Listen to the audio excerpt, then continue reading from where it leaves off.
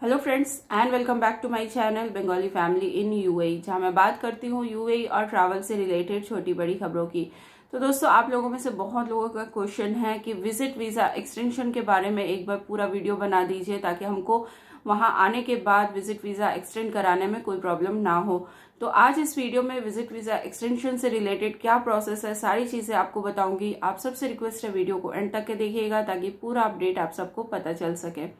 तो दोस्तों, नया रूल आने के बाद विज़िट वीज़ा एक्सटेंशन जो है, आप सबको पता है इनसाइड द कंट्री बंद हो गया है और आपको विज़िट वीज़ा एक्सटेंड कराने के लिए एग्जिट होना पड़ रहा है, ठीक है?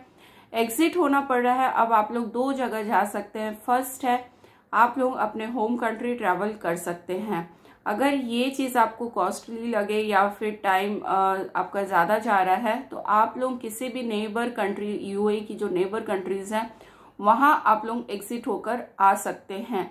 तो एग्जिट के क्या क्या उपाय हैं? देखिए, अगर आपको सिर्फ़ तीस दिन के लिए करना है तो बहुत सारे एजेंट्स हैं जो तीस दिन के लिए, तीस दिन का वीज़ा लेके आते हैं और तीस दिन का जो वीज़ा है, वो इनसाइड द कंट्री हो रहा है कहीं कहीं और स्पेशली दुबई में हो रहा है, शारजा अबू धाबी में उतना नहीं हो रहा है। लेकिन अगर आप साठ दिन के वीज़ा में हैं और साठ दिन का वीज़ा और आपको एक्सटेंशन कराना है तो आपको एग्जिट करना होगा। आप लोग कतर जा सकते हैं। ओमान जा सकते हैं, बहरीन जा सकते हैं। अब बहुत लोग पूछ रहे बाई रोड या बाई एयर तो देखिए, दोनों होता है, दोनों तरीके से बॉर्डर क्रॉस किए जाते हैं। और आपको उस जिस भी कंट्री आप जा रहे हैं, वहाँ का आपको वीज़ा लेना होता है और फिर से नए वीज़ा में यूएई एंट्री करना होता है। तो एयरपोर्ट टू एयरपोर्ट अभी सर्विसेज़ चल रही हैं। आप जिस भी ट्रैवल एजेंट से बात करते हैं, वो आपका पूरा पैकेज करके देते हैं।